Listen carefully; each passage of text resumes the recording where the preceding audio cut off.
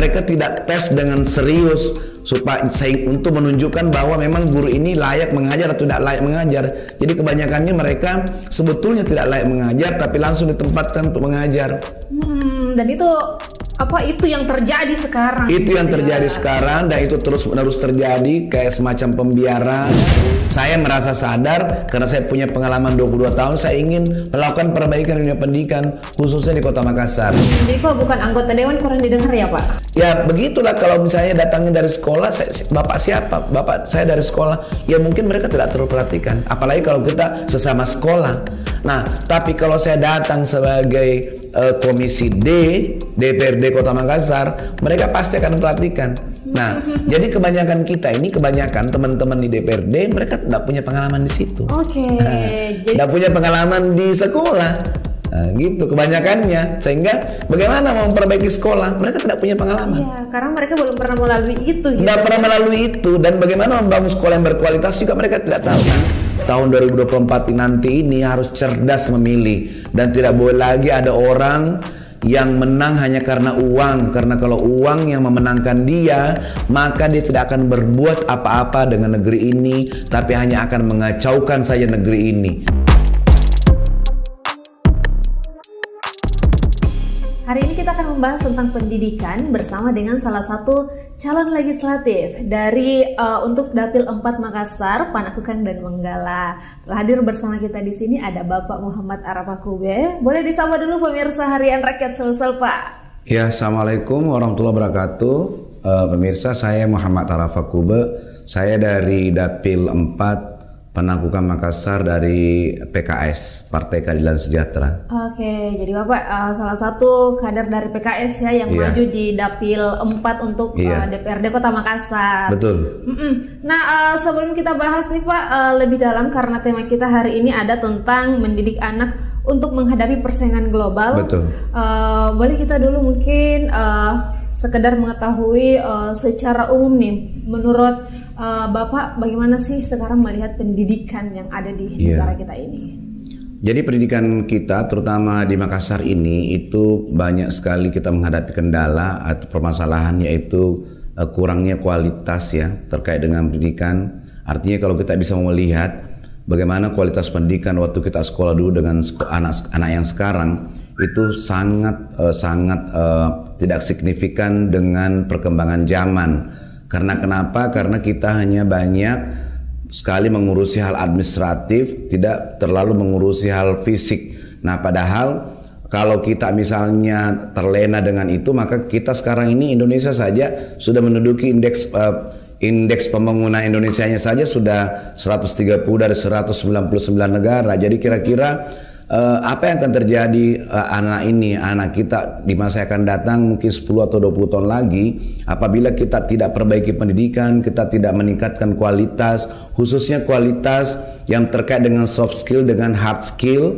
Jadi bukan hanya meningkatkan misalnya kualitas uh, bangunan atau kemudian hal-hal yang tampak begitu ya, tapi anak-anak uh, yang di dalam otaknya ini nih yang kita harus perbaiki mindsetnya, mentalnya, soft skillnya ada istilah soft skill abad 21 kita harus benar-benar meniru itu dan bukan sekedar uh, kita melakukan perbaikan yang sebagaimana yang online ya sekarang bisa mengambil alih yang tidak online. Bisa dibayangkan apakah mereka mempersiapkan diri sebelumnya Tentu tidak. Nah sekarang anak-anak ini juga kalau dia tidak mempersiapkan diri, kita tidak persiapkan, dia juga akan diambil alih. Siapa yang akan ambil alih? Ya orang-orang di sekitar kita, terutama negara tetangga. Bahkan ada negara tetangga kita yang dulunya kita belajar ke sana, kita malah mengirim guru ya, mengirim dosen. Eh sekarang kita lah yang mengirim dosen ke sana untuk belajar. Nah, jadi bahkan tingkat kualitas perguruan tingginya mereka di sana jauh lebih tinggi dibandingkan perguruan tinggi di Indonesia. Nah, kira-kira ini terus akan begitu terus sampai kemudian anak ini tidak siap bersaing di masa depan. Mm -hmm.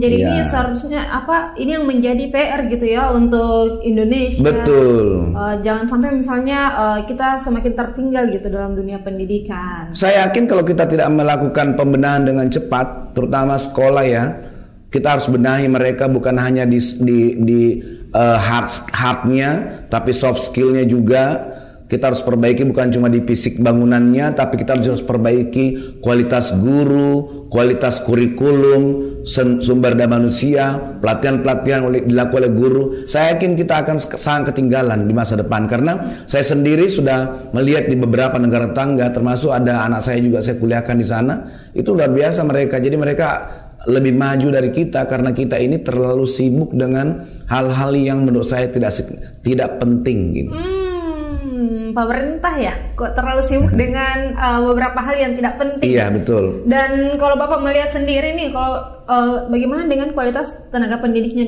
Iya. Uh, kalau menurut menurut yang saya pengalaman saya selama 22 tahun di sekolah yaitu di Albirni Mandiri saya sangat kesulitan mencari guru yang berkualitas sesuai dengan standar yang kita mau ajarkan. Contoh misalnya kita mau mengajarkan bahasa Inggris. Bahasa Inggris itu kan ada standarnya. Nah, kita kalau mau mencari guru yang berkualifikasi standar itu sangat sulit kita cari. Karena kenapa? Karena memang perguruan tinggi juga belum menyiapkan yang standar. Nah, kebanyakan sarjana itu baru siap untuk di, di training, bukan siap mengajar. Nah bahkan nih karena saya sekolah Islam, temuan saya terhadap guru-guru uh, guru-guru calon guru Quran ya, ini dari berbagai perguruan tinggi di mana pun di Indonesia ini, kalau kita tes ya selama lebih dari 20 tahun, kita ada di jadi standar baca Quran kita tuh ada 9 jilid. Itu rata-rata mereka hanya bisa lulus di jilid 3 dan jilid 4. Uh, padahal ini calon guru. Nah, itu saya bisa melihat betapa lemahnya, betapa kurangnya itu pendidikan kualitas baca Quran calon guru Quran. Nah, kira-kira mata pelajaran ini gimana? Saya yakin itu tidak tidak lebih kurang sama ya. Mungkin 11 12 dengan dengan mata pelajaran lain. Cuma memang di pelajaran lain mereka tidak tes dengan serius supaya untuk menunjukkan bahwa memang guru ini layak mengajar atau tidak layak mengajar. Jadi kebanyakannya mereka sebetulnya tidak layak mengajar tapi langsung ditempatkan untuk mengajar. Hmm, dan itu apa itu yang terjadi sekarang itu yang terjadi ya. sekarang dan itu terus menerus terjadi kayak semacam pembiaran terus mungkin tidak banyak orang yang uh, yang ini ya masuk kok merasa uh, merasa menganggap itu sesuatu hal yang penting mm -hmm. atau atau itu tidak apa ya tidak tidak mereka tidak ini tidak sadar ya kalau itu adalah hal yang sangat penting untuk dilakukan perubahan. Oleh karenanya saya merasa sadar karena saya punya pengalaman 22 tahun saya ingin melakukan perbaikan dunia pendidikan khususnya di Kota Makassar. Mm-hmm. Terutama di perguruan tinggi eh, sekolah-sekolah ya, sekolah dasar menengah dari SD sampai SMP SMA yang umum dan swasta yang memang tidak terlalu memperhatikan kualitas. Itu hanya mengeluarkan keluaran aja Bahkan saya kemarin pernah masuk beberapa SMA negeri yang kelas 12 bahkan mereka tidak punya rencana masa depan. Padahal rencana masa depan ini adalah, adalah hal yang wajib yang ada di pikiran mereka sebelum mereka melakukan sesuatu. Nah, jadi secara rencana tidak ada, terus kemudian kualitas soft skill, hard skillnya juga sangat lemah. Sehingga mereka wajar saja kalau mereka keluar dari SMA, ya mereka tidak bisa apa-apa. Bayangkan, di dalam negeri saja mereka banyak sekali yang menganggur, padahal pekerjaan begitu banyak. Nah, jadi kalau saya mengetes guru misalnya hanya membutuhkan 10, biasanya kita tesnya sampai 400. Nah, segitu banyak calon guru atau orang yang ya menurut saya pengangguran-pengangguran di sekitar kita sangat banyak. Ya, betul. Ya. Sangat banyak pengangguran dan ini so seolah-olah dibiarkan begitu saja ya, Pak. Ya seperti itu mungkin karena ya inilah uh, apa yang terjadi di negeri kita ini di sekitar kita memang ya sepertinya kayak kita sibuk sendiri gitu ya uh, terlalu sibuk dengan melakukan hal-hal yang menurut saya itu bukan hal yang begitu penting. Administratif di sekolah bukan itu penting tapi tapi bukan itu sangat penting kayak gitu bukan. Betul. jadi ada ada standarnya tapi yang yang paling penting itu adalah bagaimana anak ini siap menghadapi masa depan. Mm. karena eranya mereka bukan era sekarang. Era eranya mereka itu nanti 10 tahun lagi 20 tahun lagi baru mereka itu adalah eranya kira-kira apa yang terjadi kalau eranya mereka pada saat mereka sudah berumur 25 terus dia ketemu dengan uh, sumber daya sumber daya luar yang dididik secara khusus dan saya yakin mereka tidak akan level dengan mereka ya. tidak akan selevel tidak akan selevel ya tidak akan selevel yang ya diajarkan di masa sekarang itu ya tidak memenuhi standar ya menurut iya. bapak uh, bahkan jauh ya dari iya. itu yang untuk lulus yang 10 itu saja uh, tadi uh, bahkan hanya empat yang mereka bisa lulusi dan lain-lain. iya, dia hanya bisa sampai level 4 padahal kita ada 9 jilid. Nah, ada 9. Ada 9 jilid. Nah, artinya kualitas ter, kualitas paling bagus untuk untuk mengajar Al-Quran itu adalah 9 jilid itu lulus tapi karena mereka memang tidak punya kemampuan begitu bahkan dulu mungkin sekolah-sekolah sebelumnya standarnya tidak seperti itu sehingga mereka ya mereka hanya menjalani kualitas yang standar dan itu tidak memenuhi. Nah kira-kira di, pekerjaan-pekerjaan juga sama itu mirip pekerjaannya butuh apa sumber dayanya punya apa Nah, jadi ada ada gap yang jauh antara sumber daya dengan pekerjaan yang mau dikerjakan. Hmm, dan itu terjadi sih sekarang, Pak. Terjadi sekarang. Kerjanya apa? Kerjanya apa? Iya. Dan kalau misalnya dia sarjana bahasa Inggris nih, itu kan di bahasa Inggris itu ada standarnya. Misalnya ada namanya A1, A2, ada B1, B2, C1. Nah, kalau mau mengajar bahasa Inggris yang bagus tuh paling tidak minimal tuh B2. Nah, kebanyakan lu yang kita terima itu tidak tidak sampai tidak bisa sampai situ. Itu kalau tidak I, I2 B1 dan itu juga perlu di training lagi, dididik lagi secara khusus. Nah, bagaimana kalau sekolah itu tidak menyiapkan training tidak menyiapkan pendidikan khusus kira-kira apa yang terjadi dengan anak-anaknya. Nah itulah. Sementara anak-anak ini nanti karena ini adalah era global, dia akan bertemu dengan rekan-rekan lain yang udah dipersiapkan seperti kayak misalnya anak-anak saya ini, seperti murid-murid kita ini yang yang misalnya dia kuliah ke luar negeri, dia ke Malaysia misalnya, ke Jerman, ke Turki, terus sementara mereka tidak standar. Kira-kira apa yang terjadi?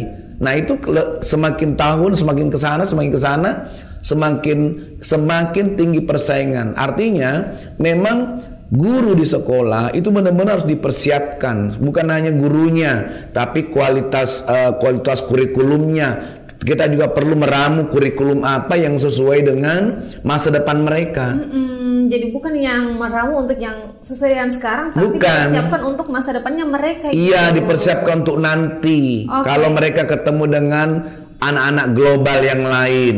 Hmm, oke okay, oke. Okay. Nah menurut bapak apa sih yang luput dari perhatian pemerintah mengenai kebijakan-kebijakan yang sekarang sudah yang sekarang sedang terjadi gitu, tapi dibiarkan begitu saja? Ya kalau menurut saya sih karena memang ini keseriusan di dalam pendidikan ini kita masih kurang. Kenapa kita tidak terlalu memperhatikan kualitas guru? Bahkan saya turun ke sekolah, itu guru mengajar apa adanya. Mereka tidak di training, tidak dipersiapkan, tidak ada standar kualitas. Ya kalau kalau mereka misalnya lulus ya, mereka lulus apa adanya sehingga mereka nanti walaupun dia sarjana, itu sarjana apa adanya.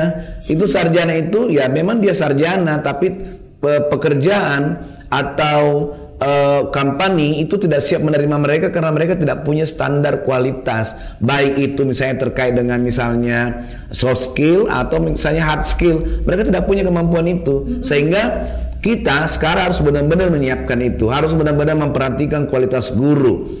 Kualitas uh, sumber daya yang ada di sekolah itu benar-benar harus disiapkan. Bukan hanya menerima tapi juga di training.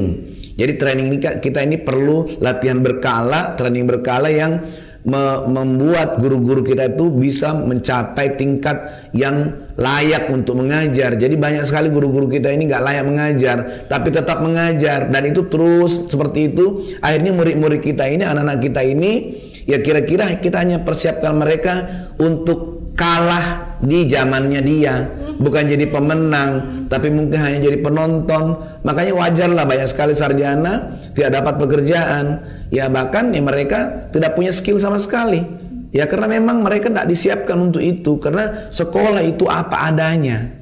Asal ada gelarnya gitu. Iya, asal ada gelarnya. Bahkan kita lebih mementingkan gelar dibandingkan dengan kualitas gitu. Bapak banyak tidak menyupai orang-orang yang banyak gelarnya tapi banyak sekali. ya karena kalau banyak sekali. Banyak sekali kita temukan. Akhirnya mereka pasti menganggur. Karena di zaman sekarang orang-orang yang dibutuhkan itu adalah bukan nggak bukan bukan gelar tapi skill yang ber, yang ber, yang berupa soft skill dan hard skill itu. Ya salah satu soft skill itu adalah dia adalah bertanggung jawab dia tangguh. Dia berani dia percaya diri itu adalah ketang itu adalah soft skill yang dibutuhkan di zaman sekarang.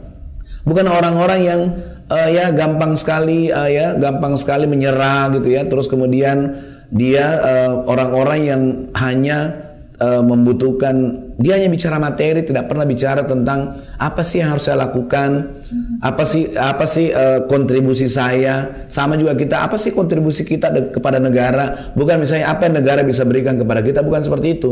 Tapi apa kontribusi sehingga nanti kok karena kontribusi kita tempat kita bekerja itu maju nah terus kemudian mereka akan memberikan kepada kita timbal balik yang sesuai dengan ini kita kemampuan kita Nah, jadi memang uh, inilah yang perlu disadarkan kepada ke, ke banyak uh, generasi kita ya, ter, ter, terutama generasi muda sekarang, SMA, kuliah bahwa nanti kalian akan menghadapi pesaing-pesaing luar biasa yang kalau kalau kalian tidak menyiapkan diri, maka kalian akan jadi penonton di negeri sendiri. Hmm, nah, menurut Bapak, wakil rakyat punya tanggung jawab tidak terkait? Punya tanggung jawab besar Wakil rakyat ini harus benar-benar serius memperhatikan pendidikan karena pendidikan ini adalah hal nomor satu yang harus diperbaiki.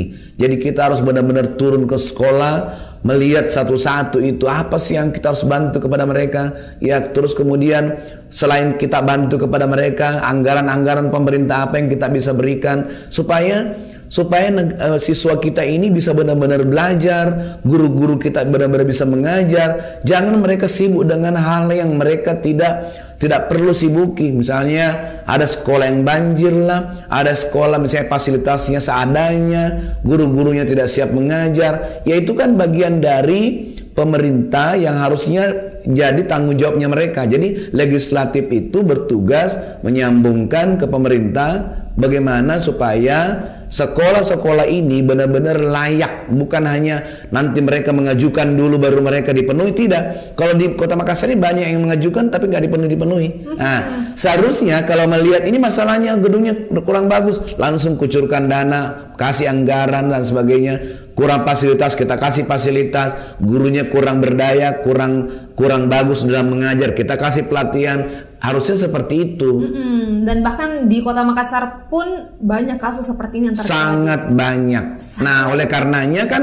sekarang banyak nih sekolah-sekolah swasta karena misalnya mm-hmm. uh, sekolah negeri ini uh, dia misalnya dia melihat kayaknya nih nggak pas nih dengan kehidupannya mereka anak-anak mereka, makanya mereka bikin sekolah. Ya, nah, akhirnya kan banyak sekolah-sekolah negeri ataupun yang swasta yang tidak bisa bersaing itu bahkan tutup. Ya Ya itu yang terjadi. Kenapa? Karena orang tua melihat bahwa anak saya ini tidak tidak boleh sekolah di sekolah-sekolah yang menurut mereka itu tidak akan bisa membuat anaknya ber, bersaing di masa depan. Betul. Dan sekarang itu sekolah-sekolah swasta bahkan orang-orang tua tuh berlomba-lomba memasukkan anak mereka ke sekolah swasta sekarang. Nah itu dia kan kenapa swasta yang begitu sibuk mengurusi sumber daya manusia Indonesia harusnya kan pemerintah ini yang benar-benar benar-benar serius mengurusi itu. Karena seandainya nih sekolah-sekolah pemerintah uh, sangat uh, sangat bagus, saya yakin swasta tidak akan banyak. Iya betul, karena sudah masalah yang pertama mungkin karena di biaya ya orang-orang pasti bahkan memilih yang lebih ini, tapi karena mungkin uh, di pandangan mereka ini tidak mumpuni gitu, jadi iya. beralih ke swasta gitu ya. Dan betul betul. Mm -mm. Jadi ya, memang memang uh, rencana saya kalau saya masuk jadi anggota DPRD saya akan benar-benar memperhatikan pendidikan. Karena saya punya pengalaman 22 tahun dan pengalaman ini saya bisa uh, memberi atau mengcopy ke sekolah-sekolah. Paling tidak saya bisa memberikan mereka pemahaman memberikan mindset kepada kepada dinas kepada kepala sekolah kepada guru. Karena kalau saya datang sebagai anggota dewan itu mereka akan memperhatikan. Saya akan banyak bicara sama mereka bagaimana sekolah yang sebenarnya. Jangan kayak gini terus karena kalau kayak begini terus 10 tahun kemudian kita akan lost generation gitu. Generasi kita akan hilang dan akan digantikan oleh generasi lain dari tempat yang lain. Dan itu bukan generasi kita. Nah, artinya penyadaran dulu nih, penyadaran kepada semua stakeholder sekolah, baik itu orang tua, guru maupun dinas atau pemerintah. Kita harus kita harus memberi memberi masukan kepada mereka supaya jangan terlalu asik dengan terlalu sibuk melakukan hal yang yang tidak ada hubungannya dengan sekolah. nggak ada gitu. Jadi kegiatan-kegiatan program-program yang ada hubungan sekolah tidak usah ada yang yang harus diadakan benar-benar berkaitan dengan anak berkaitan dengan guru dan stakeholder sekolah hmm, jadi kalau bukan anggota dewan kurang didengar ya pak Iya, kalau saya kan saya kan nih keliling juga di beberapa di banyak sekolah, apalagi uh, saya juga melakukan sosialisasi. Ya begitulah kalau misalnya datangnya dari sekolah, saya, bapak siapa? Bapak saya dari sekolah. Ya mungkin mereka tidak terperhatikan. Apalagi kalau kita sesama sekolah. Nah, tapi kalau saya datang sebagai uh, komisi D DPRD Kota Makassar, mereka pasti akan memperhatikan. Nah, jadi kebanyakan kita ini kebanyakan teman-teman di DPRD mereka tidak punya pengalaman di situ. Oke. Okay, tidak punya pengalaman di sekolah. Nah, gitu kebanyakannya sehingga bagaimana mau memperbaiki sekolah mereka tidak punya pengalaman. Iya, karena mereka belum pernah melalui itu. Gitu. Tidak pernah melalui itu dan bagaimana membangun sekolah yang berkualitas juga mereka tidak tahu. Nah, kalau Albiruni ya secara khusus dia siap bersaing dengan era global. Hmm, jadi itu sekedar informasi ah. juga kalau Albiruni itu punyanya bapak. Ya. Iya. Ya, di kota Makassar eh, itu sudah berapa jenjang itu pak? Kita mulai TK sampai SMA kita sudah berdiri sejak 22 tahun yang lalu. Jadi kita oh, sudah punya okay. pengalaman yang cukup banyak bagaimana menyiapkan anak-anak itu untuk bersaing di era global dan memang kurikulum yang kita yang kita punya walaupun itu kurikulum Diknas kita permak, permak sedemikian rupa sehingga itu itu sesuai dengan standar internasional. Oke, okay, jadi iya. sesuai standar internasional tapi tidak keluar dari tidak keluar uh, dari kurikulum Diknas. Oke, okay. iya. jadi itu sebuah inovasi juga ya iya. untuk menghadapi tantangan zaman Betul. tentunya. Nah, uh, balik lagi tadi itu Pak, kalau misalnya yang stakeholder-stakeholder mungkin agak kurang memperhatikan ya kalau kita bukan siapa-siapa yang datang menurut Bapak seperti itu ya. Menurut saya seperti itu hmm. karena memang apalagi kalau terkait sekolah ya, yang kita mau perbaiki ini kan sekolah. Yang ya. kita mau perbaiki adalah kepala sekolah dan guru. Nah, kalau yang datang itu kalau yang datang itu orang sekolah juga ya dia akan memandang sebelah mata. Oh, Tapi okay. kalau yang datang itu adalah orang di atasnya, misalnya kah adalah anggota dewan komisi D atau dinas, hmm. nah itu mereka akan perhatikan. Dari Karena kebanyakan saya kalau datang ke sekolah, ya memang kita menyurat ya, tapi ke, pada saat kita datang kepala sekolahnya nggak ada. Oh, ah, okay. jadi pasti mereka tidak memperhatikan kita. Udah datang aja ke sekolah saya, tapi saya tidak ada. Nah, coba kalau yang datang adalah anggota DPRD Komisi D. Disambut. Ah, beser, beserta dengan kepala dinas. Disambut. Ah, saya yakin disambut. Ah, jadi memang memang ada ada unsur seperti ini kalau di kita. Mm -mm kayak semacam sudah menjadi tradisi iya. Gitu ya. dan ini tradisi yang tidak bagus sebenarnya artinya ya. ya memang perlu masukan tapi masukannya harus formal seperti itu mm -mm. iya oke okay. nah ini uh, di dapil 4 ya bapak iya. aja di dapil 4 untuk DPRD Kota Makassar kalau sistem pendidikan sejauh yang bapak lihat di dapil ini seperti apa kalau saya perhatikan ya, itu sangat sebenarnya menyedihkan ya. Bahkan ada sekolah yang saya pernah dapat cerita, itu bahkan sertifikatnya saja itu belum ada. Bahkan ada sekolah di Rislak dengan uh, dengan apa gitu. Ah, bak, jadi uh, sekolah-sekolah negeri nih yang saya cerita ya, bahkan berada di tanah di tanah yang bukan tanahnya mereka. Hmm Uh, terus kemudian banyak sekali keadaan misalnya kayak sekolah negeri itu yang banjir sampai hari ini masih banjir. Terus mereka sudah mengajukan permintaan anggaran sudah bertahun-tahun tapi mereka juga tidak tidak di uh, belum dikasih gitu ya. Jadi saya kadang berbingung begini ini ini kok sekolah negara kok negara nggak perhatikan hmm. gitu ya. Terus yang mau memperhatikan siapa kalau bukan negara? Nah, itu fisiknya belum dalamnya belum isinya, belum soft skillnya, belum hard skillnya, itu lebih tidak diperhatikan lagi. Mhm. Karena fisiknya aja tidak, nah, gitu. Bapak kenapa itu terjadi? Nah itu dia, karena mungkin orang terlalu sibuk dengan urusan yang lain, dia sib, dia dia tidak memperhatikan ini. Jadi terlalu sibuk mengurusi urusan-urusan di luar ya, di luar sana yang nggak tahu apalah. Nah, dan lupa bahwa ada sekolah-sekolah kita yang berada di lorong-lorong, gedungnya kecil sekali, fasilitasnya hampir tidak ada, tapi itu sekolah negeri. Nah, jadi jangankan bicara bicara kualitas uh, guru dan siswa, yeah. ya bicara kualitas gedung saja itu jauh dari harapan. Okay. Nah, padahal kalau negeri itu biasanya kalau bicara mutu bicara fisik.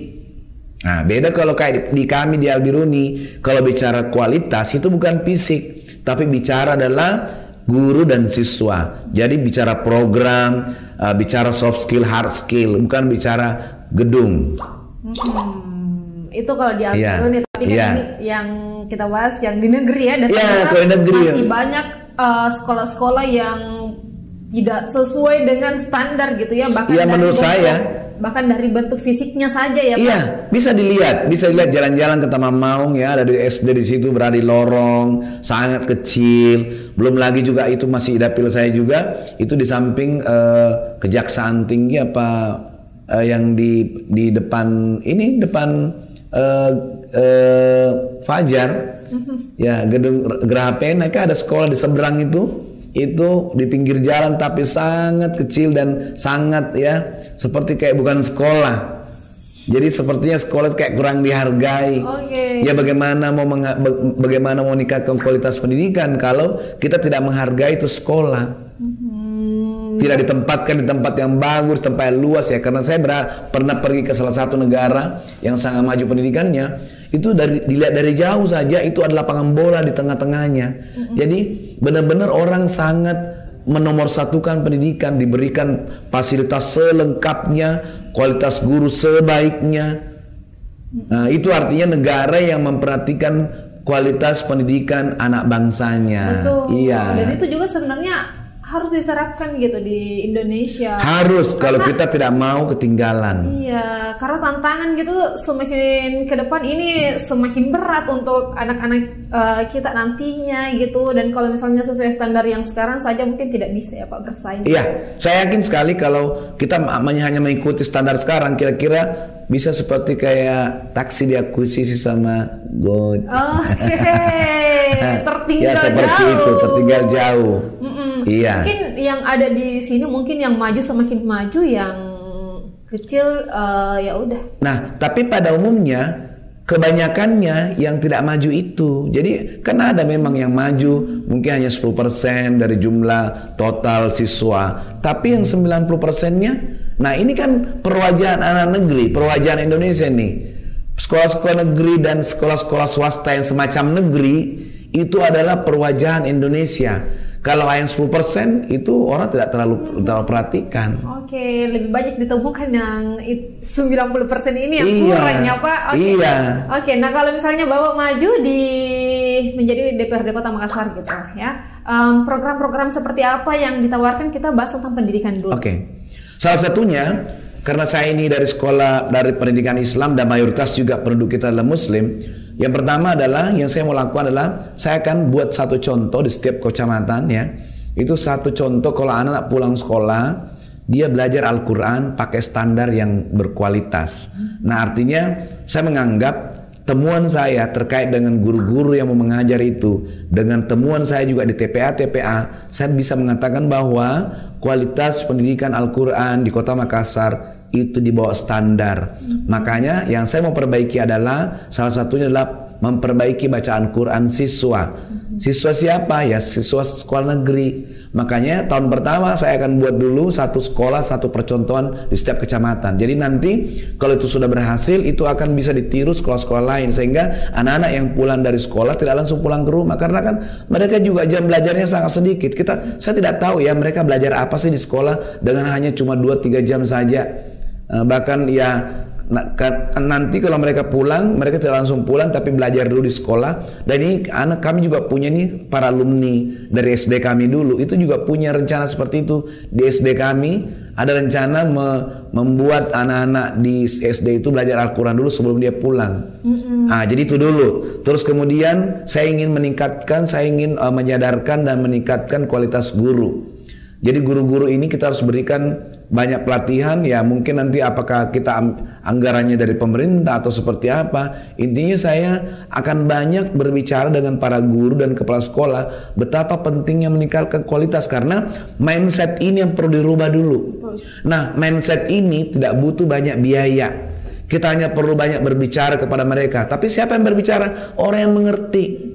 Karena kalau orang yang tidak mengerti, mereka tidak akan paham. Nah, jadi bagaimana berbicara dengan kepala sekolah dan guru? Ya itu tentu kalau saya jadi anggota DPRD, saya akan banyak bicara seperti itu. Nah, jadi ke kemudian apalagi selain pendidikan, bagaimana misalnya kita eh, eh, mengajari eh, guru dan murid-murid betapa pentingnya kesehatan bagi mereka. Ya, karena kan luar biasa ini banyak sekali makanan-makanan tidak sehat yang beredar di lingkungan kita yang mereka tidak teredukasi sehingga mereka makan dan mereka itu membuat uh, berbahaya bagi tubuhnya ke depan. Karena biarpun kita anak ini belajar serius hebat-hebatnya tapi kalau fisiknya tidak kuat fisiknya penyakitan itu juga tidak ya itu juga seperti kayak kembali ke nol. Betul. Nah, artinya di saat mereka lagi bagus-bagusnya tapi sakit kayak begitu lah. Sehingga kita perlu mengedukasi mereka bagaimana jajan yang benar, yang mana-mana jajanan yang bagus. Kalau kita misalnya pemerintah belum bisa melarang jajanan ini, ma- minimal siswa dan gurunya tahu yang mana yang boleh dimakan, yang mana yang tidak boleh, yang mana yang berbahaya, yang mana yang tidak berbahaya. Itu sampai kayak gitu. Jadi kita bukan hanya meningkatkan soft skill, hard skill, tapi kita juga mengajarin mereka pola hidup. Pola hidupnya, pola hidup sehat, tidur, bangun, terus kemudian termasuk mindset begini, mindset olahraga. Kebanyakan di kita ini kan olahraga itu hanya hanya seperti kayak pelajaran. Bukan eh, life apa lifestyle, bukan menjadi kehidupan standar. Sehingga anak-anak itu lebih senang naik motor, Misalnya kayak anak SMP, SMA itu lebih, lebih senang naik motor ke sekolah daripada jalan kaki. Iya. Nah ini kan perlu pemahaman, perlu turun ke sekolah, perlu bicara sama guru, perlu bicara sama diknas. Dan ini tidak berbicara uang, tidak terbicara, tidak berbicara anggaran, hanya merubah pola pikir, merubah pola hidup itu. Dan ini saya punya eh, punya ini tangan yang panjang kalau saya jadi anggota DPRD. Nah begitu. Oke, Ya. jadi disasar dulu bahkan bukan langsung ke anaknya tapi mulai dari gurunya, di Diknas juga. Iya. Itu semua bakalan kita mulai dari situ ya. Ya, kita untuk- mulai penyadaran lah bagaimana sih Penyadaran. Indonesia ini bisa bersaing dengan negara-negara lain. Ah, dan kita harus bangun seperti apa? Penyadaran. Mm, dan bukan hanya pendidikannya teman-teman Iya. ya, pokoknya tadi tentang kesehatannya juga bakalan dibuatkan eh, disadarkan ini Iya.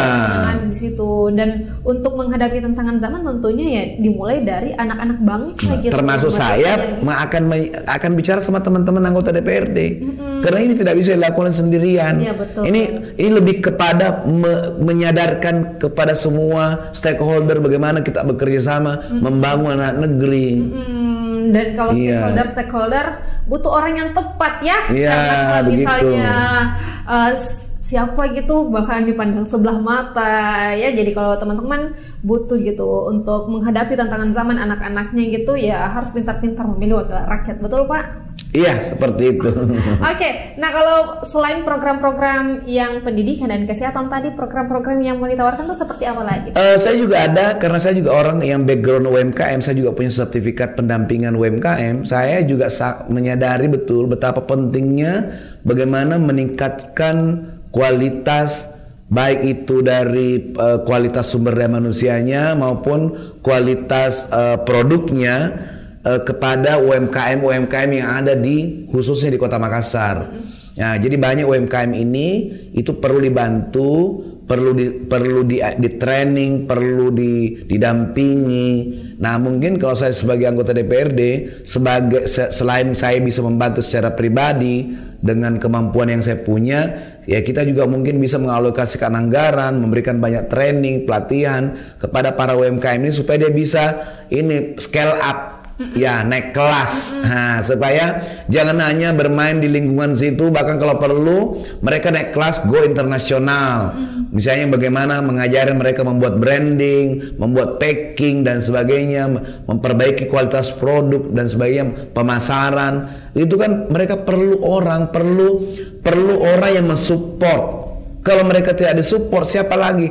Apalagi ini harusnya pemerintah mensupport karena kalau pemerintah mensupport, terus mereka naik kelas, ya otomatis kemiskinan akan semakin berkurang. Betul. Iya, itu pasti itu, udah pasti itu. Jadi kemiskinan akan semakin berkurang seiring dengan kualitas-kualitas atau meningkatnya pendapatan-pendapatan para UMKM itu. Hmm, Oke. Nah, jadi, saya bahkan- juga serius di situ. Hmm, bahkan diberi pelatihan-pelatihan ya untuk eh, pegiat-pegiat UMKM yang ada di Kota Makassar. Iya. ya. Oke, dan ini penting tentunya karena mungkin ada orang yang eh, sebatas jualan tidak mengerti bagaimana konsepnya akhirnya tidak laku mereka mundur dan lain-lain tidak berproses itu mungkin yang menyebabkan juga banyak UMKM yang gulung tikar ya Pak. Iya, banyak sekali. Jadi memang ada penelitiannya kalau ada ada UMKM buka lima itu paling bertahannya satu. Iya, betul karena itu. Iya, nah itulah kita kasihan melihat mereka seperti itu karena mereka kebanyakannya memang tidak punya pengetahuan. Bagaimana berbisnis itu? Dan mereka tidak punya pengetahuan sehingga pemerintah punya peran dan wajib itu dilakukan. Bagaimana mendidik mereka supaya mereka siap? Bukan hanya uh, keberanian tapi mereka memang sudah dibekali dengan ilmu-ilmu bagaimana berusaha. Ya, jadi sudah ya. ada tentang pendidikan, kesehatan untuk pelatihan-pelatihan UMKM juga ada. Nah, tapi ini yang uh, kita kembali lagi Pak yang tadi ini ya. banyak loh anak-anak di Makassar, anak usia sekolah. Iya. Kan Bapak mau fokusnya nih ke pendidikan ya. Iya.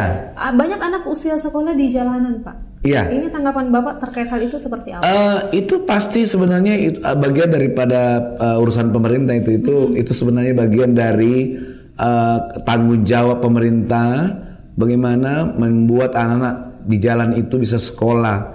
Uh, bahkan mereka bukan cuma bisa sekolah tapi mereka kehidupannya layak. Hmm. Uh, sehingga tentu kita hanya perlu uh, istilahnya memberi perhatian kepada mereka dan selain selain mereka bisa diberikan pendidikan formal juga banyak sekali pendidikan non formal artinya kita harus memberi perhatian.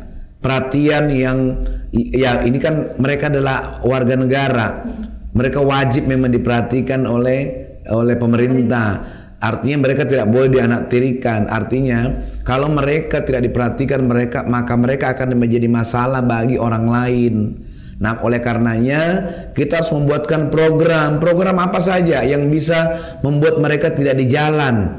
Misalnya mereka disekolahkan, terus kemudian mungkin mereka ada sekolah-sekolah non formal yang lain yang meningkatkan eh, kemampuan SDM mereka sehingga mereka nanti bukan di jalan lagi mereka, tapi mereka bisa ada di uh, ada di tempat-tempat kerja formal.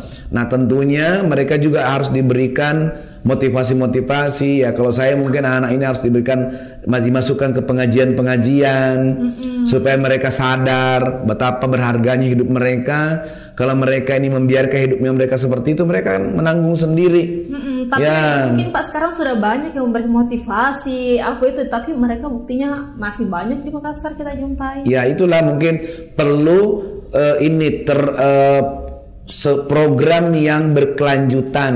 Mm-hmm. Jadi bukan hanya memotivasi tapi terus sampai mengawal sampai mereka benar-benar uh, berhasil. Mm-hmm.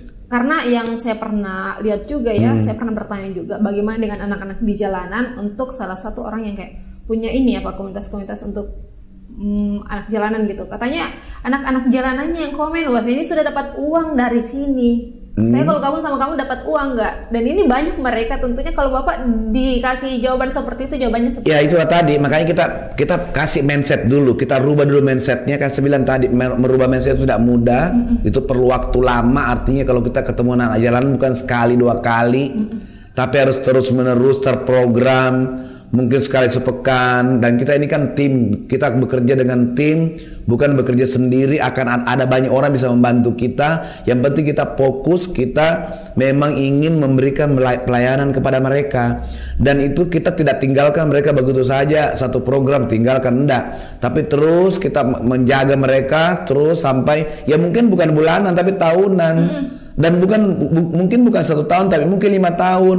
Hmm. eh, mungkin sepuluh tahun dan kita berkontrib kita bekerja sama dengan pihak-pihak lain untuk bisa membuat mereka berhasil dari jalan menjadi uh, menjadi mungkin uh, entrepreneur lah atau misalnya mungkin bisa bekerja di mana intinya ini penyadaran karena kan uh, orang di jalan ini mindset mindset juga perlu diperbaiki nih bahwa hidupmu bukan di situ. Mm. Berarti boleh dong kalau kita titip anak jalanan ke bapak.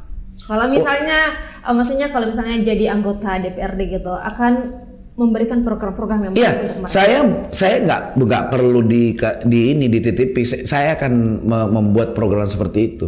Oh. Iya, bahkan sebenarnya ya kalau secara secara personal di Yayasan Albirni Mandiri pun kita akan melakukan itu. Oh, Oke. Okay. Iya, karena itu itu kewajiban memang kita. Ini bukan hanya bicara bahwa ini pemerintah, tapi itu juga kewajiban orang per orang, organisasi, yayasan Ya, tapi alangkah baiknya ini kalau pemerintah mengambil peran yang besar. Iya betul. Iya. Nah, banyak ya kan Bapak lihat iya, sendiri. Iya karena kan? sangat banyak. Ah, iya. Banyak sekali di jalanan di lampu merah anak-anak di jalanan pakai kostum ini juga ya yang badut-badut, iya. yang boneka-boneka dan masyarakat tentunya bertanya gitu mana ini wakil rakyatnya Eh. kita mana pemerintahnya kita? Jadi kita butuh orang-orang memang yang mungkin bisa mengatasi hal tersebut gitu. Iya. selain karena ya untuk tidak melihat lagi orang-orang seperti di jalanan yang bisa juga meningkatkan kualitas hidup mereka tentunya. Iya, jadi memang pembinaan ya kata kuncinya pembinaan kemana- kepada mereka yang eh, ber- berkelanjutan, bukan hanya pembinaan sesaat, tapi pembinaan terus menerus yang memang seharusnya kita lakukan baik itu kita ini eh, individu maupun organisasi sosial memang harus dilakukan dan ada begitu banyak orang yang ingin membantu lembaga-lembaga itu apabila kita melakukannya dengan serius. Jadi ini sebetulnya ya Eh, ya kalau kita berbicara pemerintah ini adalah peran pemerintah yang sangat penting karena mereka adalah rakyat, mereka adalah warga yang memang harusnya diperhatikan. Nah, sehingga kita bukan hanya menyerahkan kepada swasta atau lembaga-lembaga sosial, bukan. Nah, tentu pemerintah bisa berkon- berkoordinasi dengan semua pihak untuk eh, melakukan pekerjaan ini. Eh, Oke. Iya. Jadi ya semoga nanti dengan eh, adanya orang-orang baru di parlemen begitu eh, apa yang kita lihat orang-orang Makassar ini bisa teratasi gitu ya di periode selanjutnya semoga tidak ada lagi kita lihat yang seperti itu kita titip sama eh, bapak dan teman-temannya. Iya, insya Allah. Oke. Iya. Nah em, terakhir mungkin Pak ini eh, bagaimana persiapannya eh, sampai sejauh ini untuk maju menjadi anggota legislatif? Saya kan bukan orang yang eh, maksudnya sangat menginginkan jadi anggota DPRD. Oke. Karena bagi saya anggota DPRD itu adalah pengabdian. Eh, hal yang harus saya lakukan karena saya merasa perlu membantu orang. Nah, itu prinsip saya. Sehingga saya tidak melakukan semua cara untuk masuk ke sana. Nah, artinya saya punya cara sendiri yang saya juga pernah diajar, memang saya pernah dididik khusus untuk bagaimana eh, istilahnya bisa mengambil hati masyarakat. Nah, jadi saya punya punya cara sendiri sehingga saya tidak melakukan semua cara yang menurut menurut hati saya itu tidak tidak tidak boleh, tidak seharusnya dilakukan dan kita harusnya melakukan pendidikan politik kepada masyarakat. Artinya masyarakat harus dididik bagaimana mendi- men- memilih calon-calon mereka yang benar-benar yang akan membantu mereka, yang akan melayani mereka. Jangan pilih orang yang membayar mereka karena kalau mereka mem- kalau mereka dibayar, tentu mereka itu sudah tidak akan diurusi berikut-berikutnya. Makanya wajar kenapa mereka tidak datang-datang lagi? Ya karena mereka meng- menganggap sudah anda, suara Anda sudah dibeli. Iya, iya, iya, nah, iya, kalau iya. saya saya anti itu, saya tidak suka itu, saya tidak mau masyarakat dibeli. Makanya saya melakukan pendidikan politik. Artinya kalau saya misalnya mereka mau pilih silakan. Tapi saya punya program nih untuk untuk masyarakat seperti ini. Kalau saya terpilih dan terus terang saya tidak butuh pekerjaan ini. Nah, karena pekerjaan ini membuat saya akan semakin sibuk. Iya betul. Nah, dan dan saya sekarang juga sangat sibuk. Artinya ya, kenapa saya melakukan ini? Karena saya ingin membantu masyarakat. Karena kalau tidak ada orang yang membantu masyarakat, terus siapa lagi yang mau membantu? Karena saya sedih kalau misalnya banyak orang mau masuk di Albiruni tapi mereka tidak sanggup bayar. Saya tidak bisa berbuat banyak. Iya. Tapi saya bisa membuat sekolah yang mirip-mirip itu, kualitasnya mirip-mirip itu, tapi harganya sangat terjangkau, bahkan mungkin dibiayai oleh pemerintah. Itu bisa. Iya. Nah, tapi kalau tapi kalau saya menerima mereka di sekolah saya, saya tidak saya tidak mampu eh, membayar mereka. Mm, mm, mm, mm, mengerti Marta. Iya, Oke. artinya kalau saya me- membuat program seperti itu tapi di di sekolah yang dibiayai oleh pemerintah itu bisa. Mm, Nah, di situlah kontribusi saya. Oke, dan itu Nah. harus duduk dulu supaya didengar Harus gitu. duduk. Karena kalau tidak duduk dulu diabaikan. Iya, ya. bagaimana saya bisa bisa mengakses sekolah-sekolah di negeri dan dan teman-temannya itu kan itu saya harus harus lewat jalur ada jalurnya. Oke, Ah. Jadi em, untuk masyarakat tentunya ini ya untuk anak-anaknya kalian, untuk Iya. anak-anaknya bapak ibu gitu ke depannya bagaimana. Apalagi ini tantangan ke depannya itu teman-teman harus tahu bahwa ini semakin semakin semakin eh, kencang itu, Iya, semakin luar semakin biasa. luar Iya. biasa dan kalau masuk di Albiruni seperti yang katakan tadi mungkin mungkin bab, mungkin ada yang bisa ada Iya. banyak yang tidak bisa tapi kalau yang tidak bisa bahkan dibuatkan yang sama nih tapi Ya kita mau bikinkan kita. seperti itu, Oke. mirip-mirip itu programnya. Hmm, oke teman-teman jadi seperti itu dan kalau Bapak ini eh, sejauh ini optimisme untuk merekursi di dapil ini bagaimana? Saya karena ini kan pengalaman saya bukan bukan kali pertama, ya Insya Allah saya berusaha keras untuk masuk ke sana karena ini juga adalah adalah kepercayaan teman-teman di PKS hmm. supaya saya bisa masuk ke dalam supaya bisa mewarnai uh, apa DPRD gitu ya terka, terka, terutama terkait dengan pendidikan. Nah, ini adalah amanah bagi saya sehingga saya berusaha keras Ya artinya saya memanfaatkan waktu sebaik-baiknya dengan cara saya untuk bisa meraih suara dari masyarakat. Oke, Bapak iya. butuh berapa suara nih untuk? Saya menargetkan 5 ribu. 5 ribu? Iya. Oke, kemarin kita podcast sama salah satu juga yang di dapil ini butuh 6 ribu. Hmm, ya. Oke, 5 ribu suara untuk teman-teman, uh, untuk Bapak Ibu, untuk uh, salah satu calon legislatif kita untuk bagaimana supaya pendidikan di Indonesia tentunya itu lebih baik lagi bukan hanya di Makassar bahkan iya. di Indonesia. Oke Pak, boleh terakhir closing statement untuk harapannya kepada masyarakat dan juga untuk uh, kesuksesan pemilu 2024. Ya kepada uh, Bapak dan Ibu dan teman-teman yang ada di rumah, ya saya berharap kita uh, tahun 2024 ini adalah tahun penting bagi kita semua supaya Indonesia jauh lebih baik daripada sekarang, supaya Indonesia ini tidak tertinggal dari negara-negara lain, maka gunakanlah hak pilihnya sebaiknya. Lihatlah calon-calonnya, siapa yang layak dipilih, siapa yang tidak boleh dipilih, bahkan dan tidak boleh ya. Jadi siapa yang layak dan siapa yang tidak boleh itu tergantung pilihan masing-masing Bapak dan Ibu. Jadi tahun 2024 nanti ini harus cerdas memilih dan tidak boleh lagi ada orang yang menang hanya karena uang. Karena kalau uang yang memenangkan dia maka dia tidak akan berbuat apa-apa dengan negeri ini tapi hanya akan mengacaukan saja negeri ini. Jadi negeri kita ini banyak sekali orang-orang yang tidak layak duduk di situ tapi dia duduk karena dipilih oleh masyarakat. Nah oleh makarnya sekarang harus cerdas dan lebih cerdas memilih. Itu saja Oke, okay. iya. terima kasih banyak Pak. Ini iya. untuk masyarakat harus cerdas gitu karena ini untuk kalian juga iya. tentunya. Iya. Kalau sudah dikasih duit nanti ya mereka merasa bahwa iya tanggung jawab saya sudah selesai karena iya. suara kalian sudah dibeli. Iya. Oke, okay, buat Pak Muhammad Arapat terima kasih banyak telah hadir uh, mau sharing dengan Harian Rakyat Sulsel, mau uh, terbuka gitu tentang program-programnya apa saja yang mau ditawarkan uh, kepada masyarakat gitu dan uh, semoga pendidikan kita semakin maju lagi ke depannya Pak. Amin amin. Ya rabbal alamin. Terima kasih Pak dan iya, sama-sama. selalu, semoga lancar untuk semua rencana-rencana baiknya amin, semoga amin. dapat terrealisasikan. Iya amin. Untuk pemirsa di rumah sampai di sini perbincangan saya dengan narasumber kita kali ini yang sangat menarik. Jangan lupa untuk di-share ke teman-temannya supaya lebih banyak lagi yang tahu dan supaya kalian itu tahu gitu bagaimana membuat uh, dan memilih memang calon-calon yang layak untuk duduk gitu dan supaya bisa mewakili suaranya kalian. Terima kasih dan sampai jumpa di podcast berikutnya. Wassalamualaikum warahmatullahi wabarakatuh. Waalaikumsalam warahmatullahi wabarakatuh.